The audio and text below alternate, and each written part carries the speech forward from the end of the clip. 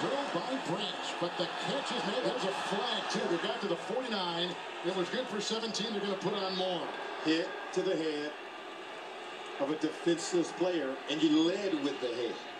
So that's that constitutes an illegal play. That's their leading tackler, too, Branch. Yeah, and, and you can hit him. You just can't lead with your head to his head when he's in that defenseless position.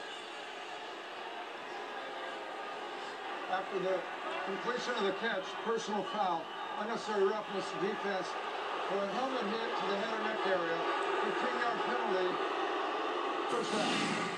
And that's what they're going to get him on.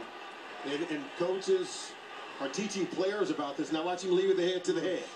See, he's in a defenseless position. There's no way Tony Moeaki can protect himself. We're going to protect our players. It's